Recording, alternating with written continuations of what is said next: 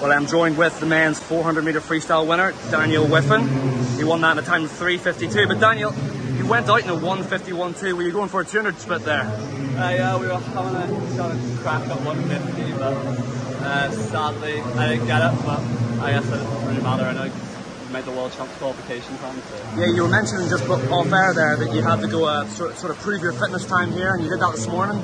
So you're on the World Champs team, on the plane to Fukuoka.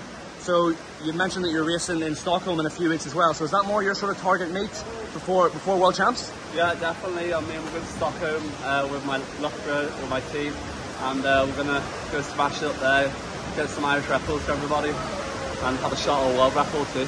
Absolutely. You heard it here first. Here, here first, folks. Daniel Wiffen going for a world record in a few weeks. Yeah. So, how do you sort of manage expectations? Obviously, coming off a stellar short course season, breaking that European record, and all the hype around that, and then obviously it's sort of back to the grind in January. You know, back to train. How do you sort of manage that? And you know, getting back. Is it just the hunger to replicate it long course?